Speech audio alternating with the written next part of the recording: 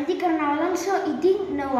ara us parlaré d'un llibre que es titula La cosa més estranya del món.